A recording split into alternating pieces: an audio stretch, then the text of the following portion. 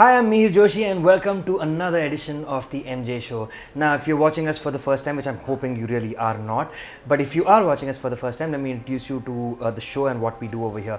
I'm Mihir, like I said, and I've been a radio jockey in Mumbai for many, many years. I'm also a singer, and one of the most uh, fun things that I got to do, and I say this every time, but it was honestly one of the most fun things that I got to do on radio was to meet up with uh, some of my favorite singers, musicians, uh, music directors, guitar players, uh, and now what I thought is I'd get all of those fantastic people right here on this show and get get you guys to uh, know them a little bit better. So today I have a fantastic singer. I've had her uh, on my radio show in the past. We talked about uh, her Bollywood work. There's some interesting things that you're going to discover about her today. She's uh, very, very, very pretty and she sings really, really well. And uh, you know all of her songs, I'm sure. So let me introduce you now to the guest on the MJ show for today, the lovely Anusha Mani. Welcome, Anusha. Welcome Thank to you. the MJ show. Fantastic to uh, get you back on something that I'm doing. Uh, I think we met about like a couple of years ago on Yep. my on the radio show, and uh, we talked about stuff that was happening at that point of time. I know there's been a lot more that's been happening since then, Yes. and there's a lot that's happened before that as well. So today, let's talk about pretty much everything. Uh, let's start off from the start. This is something that I like to find out about every singer who comes on the show.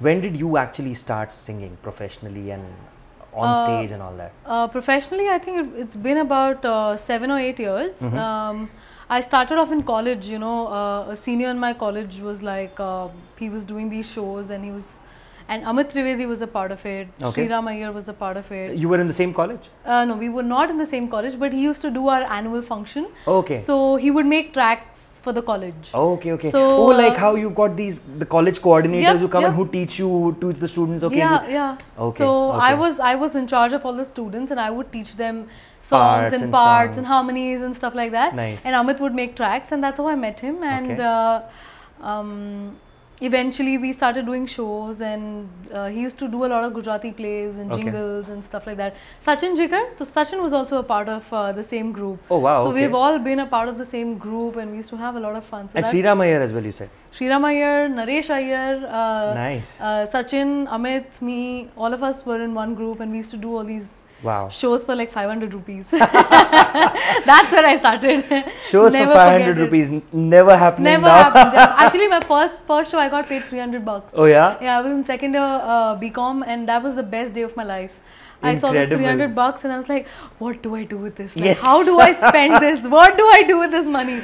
You know, so fantastic. It's, yeah, yeah, it's, it was the best. So it started off with that. I I also remember reading in those I think those Gujarati plays that you're talking about. You've sung songs with him. Yeah, yeah, So you've sung in Gujarati as well. yeah, yeah. So wh- what other languages have you sung in so far? Uh, I'm talking well, about films, jingles, whatever. No, uh, films I've It's all Hindi. it's all Hindi, uh, but jingles I've done all of it: Tamil, Telugu, Malayalam, Kannada, Bengali, Assamese, Marathi, English, like So what what came first? Did jingles start happening first, or did film yeah, songs yeah, jingles. Jingles First, happening. first I was doing chorus. So Okay. uh, when I was in college, like you know, excited to do like a show for 300 bucks, 500 Correct. bucks. Then I got promoted to 500. Ah. Then I got promoted to 1000. So uh, that was like the best part of my life. And Okay. uh, then slowly, slowly, I started getting called for chorus singing.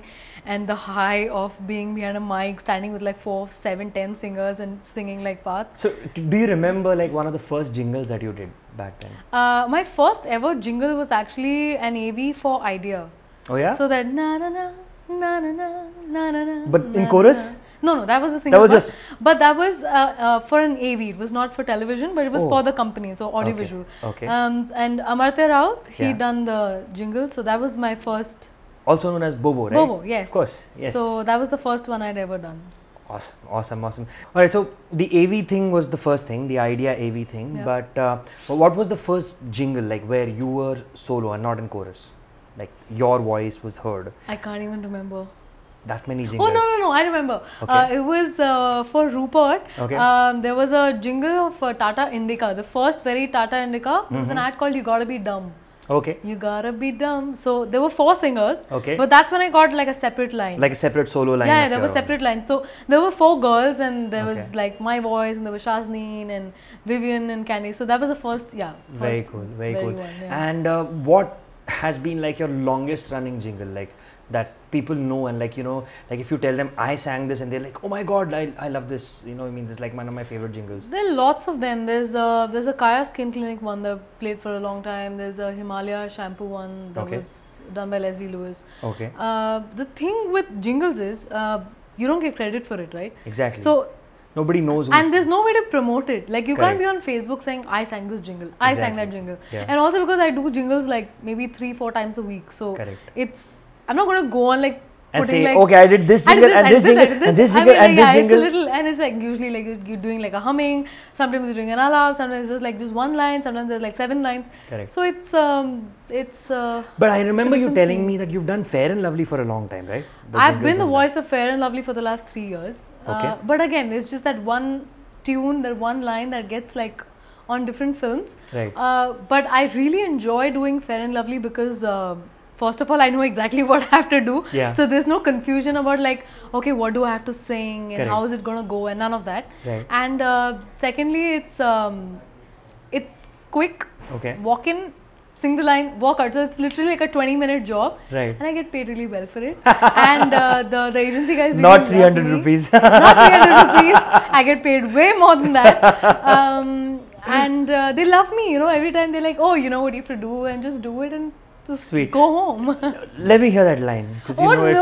no! Come on, you got to do it. so you dumb got to just do sing it. a Fair and Listen, Lovely. Fair and Lovely is getting full on promotion. Fair and Lovely people. I know you should. You when should when you see this, you don't you, you never get to see her face singing the jingle. now I you're getting to see that. Got to give her next five years ka ads as well. And you want to do something with us, that's fine as well.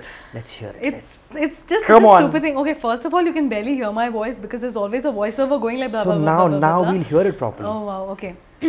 na na na na na na na na na na.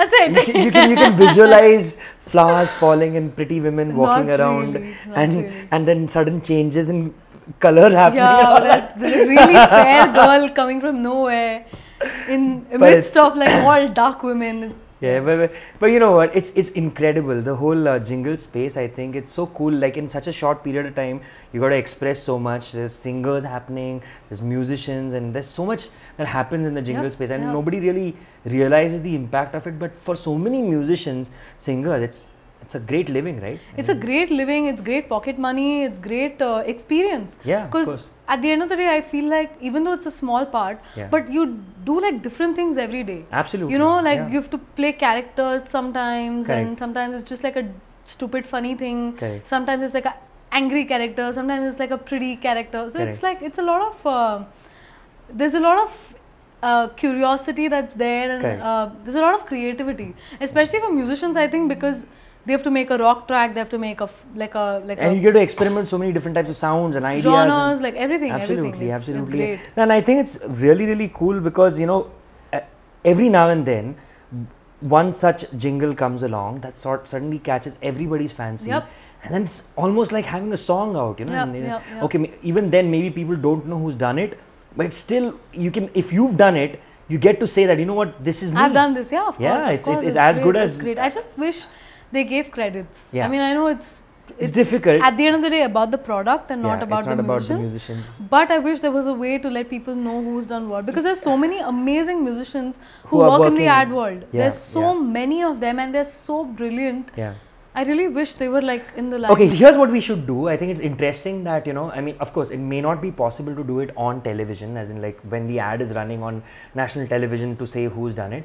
But I believe, uh, you know, uh, she was telling me that at least online ad credits are given to Yeah, the YouTube, yeah, generally when YouTube agencies put it up, they give credits. give credits to the and you know all all you fantastic brands who are making such amazing ads out there you guys have your facebook fan pages and twitter handles so when you put out a new ad please also Promote. tweet and promote and let people know who's musicians. yeah who the yeah. singers are who the musicians are. That'd be really really nice. And uh, let's let's see that happening. You know all you corporates watching us right now. Hmm. whoever is watching us right now. Okay so what we're going to do now is we're going to switch off part one. We're going to go into part two very very soon. And i'm going to talk to anusha about her Bollywood career. You found out how she started things off right now. You found out about her jingles career so far. Now we're going to talk to her about Bollywood. So come back in part two with me and Anusha on the MJ show. And we'll talk about some fantastic songs. I'm going to get her to sing some more songs too, not just jingles. All right, part two of the MJ show coming up.